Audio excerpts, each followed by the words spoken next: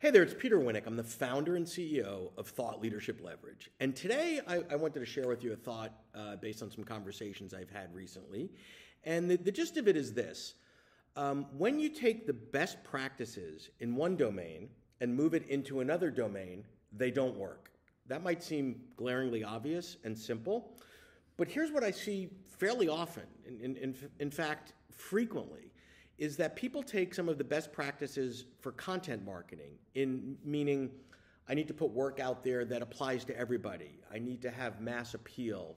I need to constantly get stuff out on a day-to-day basis to state my case about my product, service, or offering. And they use those best practices in the world of thought leadership. And quite frankly, it just doesn't work. Let me explain why.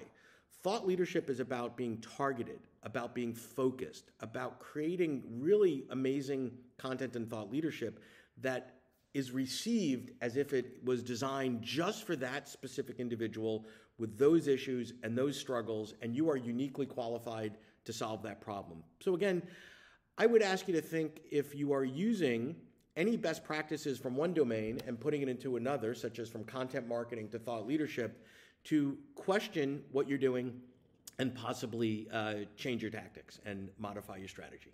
Thanks so much.